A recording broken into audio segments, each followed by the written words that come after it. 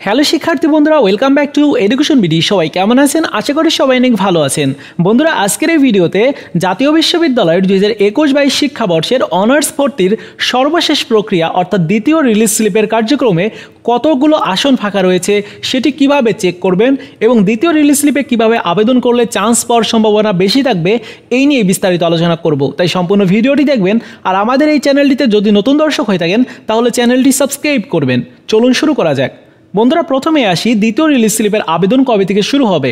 তো যেহেতু এখন প্রথম রিলিজ স্লিপের ভর্তির কার্যক্রম চলমান রয়েছে, এই প্রথম রিলিজ স্লিপের ভর্তির কার্যক্রম শেষ না হলে দ্বিতীয় রিলিজ স্লিপের আবেদন শুরু হবে না। তো দ্বিতীয় রিলিজ স্লিপের আবেদন শুরু হতে পারে আগামী দশ সেপ্টেম্বরের পরে এবং দশ সেপ্টেম্বরের মধ্যেই আমরা নতুন একটি আপডেট পাবো। যখনই আপডেট পাবো, অবশ্যই আপনাদেরকে জানানোর চেষ্টা করব। এবার আসি পরবর্তী বিষয়, অর্থাৎ দ্বিতীয় রিলিজ স্লিপে কতগুলো আসন ফাঁকা রয়েছে সেটি কীভাবে দেখতে হবে? যখন আপনি দ্বিতীয় রিলিজ স্লিপের আবেদন করতে যাবেন, তখনই আপনি দেখতে পারবেন যে কলেজ সিলেক্ট করলেই ওই কলেজে কয়টা এলিজেবল সাবজেক্ট রয়েছে আপনার জন্য এবং কয়টা করে আসন রয়েছে, প্রত্যেকটি বিষয় আপনি দেখতে পারবেন। অর্থাৎ প্রথম রিলিজ স্লিপে আপনি যেভাবে চেক করেছেন বা দেখেছেন, ঠিক সেরকমভাবেই আপনার দ্বিতীয় রিলিজ স্লিপেও দেখতে হবে কোন কলেজে কয়টা আসন রয়েছে। তো যে সকল শিক্ষার্থীরা বলছিলেন যে, ভাইয়া, কোন কলেজে কয়টা আসন রয়েছে সেটি কীভাবে চেক করব? আশা করি উত্তর পেয়ে গেছেন, অর্থাৎ আপনি যখন আবেদন করবেন বা দ্বিতীয় রিলিজ স্লিপের আবেদন যখন শুরু হবে, তখনই আপনি চেক করতে পারবেন যে, কোন কলেজে কয়টা করে আসন রয়েছে। এইবার লাস্ট বিষয়, অর্থাৎ দ্বিতীয় রিলিজ স্লিপে কীভাবে আবেদন করলে চান্স পাওয়ার সম্ভাবনা বেশি থাকবে।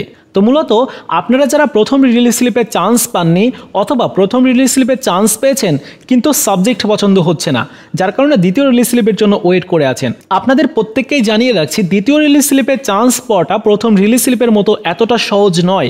দ্বিতীয় রিলিজ স্লিপে চান্স পাওয়াটা আপনার আবেদনের উপরও নির্ভর করবে প্লাস আপনার ভাগ্যের উপরও নির্ভর করবে।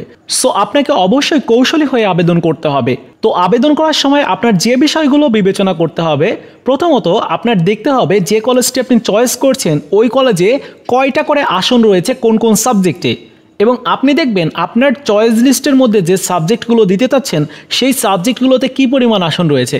যদি আসন বেশি থাকে, তাহলে চান্স পাওয়ার সম্ভাবনাও বেশি। সো সেই আসন বেশি সাবজেক্টগুলোতে আপনি প্রথম চয়েস দ্বিতীয় চয়েস তৃতীয় চয়েস এইভাবে দিয়ে আসবেন। এবং আপনি মনে রাখবেন রিলিজ স্লিপে প্রথম চয়েসকৃত যে কলেজটি আপনি দিবেন, সেই কলেজটি হতে পারে সরকারি হতে পারে বেসরকারি। তো আপনি সরকারি কলেজ যদি চয়েস করেন, তাহলেও আপনি দেখবেন যে ওই কলেজে কয়টা আসন রয়েছে এবং আপনার জিপিএ যদি অনেক বেশি থাকে, অর্থাৎ নাইন পয়েন্ট থেকে টেন পয়েন্টের মধ্যে, তাহলে আপনি সরকারি কলেজ চয়েস করতে পারেন। আর যাদের জিপিএ এর থেকে কম রয়েছে তাদেরকে বলব, আপনি বেসরকারি কলেজ চয়েস করবেন। কারণ আপনার চান্স নাও হতে পারে। সরকারি কলেজে যখন দ্বিতীয় রিলিজ স্লিপে আবেদন করতে যাবেন, তখন আপনি দেখতে পারবেন যে খুব অল্প সংখ্যক আসন রয়েছে এবং খুব অল্প সংখ্যক আসন থাকলে সেই আসনের বিপরীতে যে আপনি চান্স পেয়ে যাবেন এমন নয়। সো আপনাকে মাথায় রাখতে হবে জিপিএ কম থাকলে বেসরকারি কলেজ চয়েস করতে হবে জিপিএ বেশি থাকলে সরকারি কলেজ চয়েস করতে হবে। তবে জিপিএ বেশি থাকলেই যে সরকারি কলেজ চয়েস করতে হবে, এমন নয়।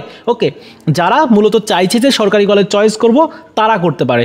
আর যারা মনে করছে যে কোনো একটি সাবজেক্টে চান্স পেয়ে গেলেই হবে সো তাদেরকে বলব আপনি বেসরকারি কলেজ চয়েস করবেন। এবং মনে রাখবেন যে কলেজে সব থেকে বেশি আসন রয়েছে, সেই কলেজটি প্রথম চয়েস তারপরে চয়েস তৃতীয় চয়েস এইভাবে আপনি পাঁচটি কলেজ চয়েস করে দিবেন। ওকে যেহেতু এইটা হচ্ছে অনার্স ভর্তির সর্বশেষ প্রক্রিয়া, তাই অবশ্যই আপনাকে কৌশলী হয়ে আবেদন করতে হবে।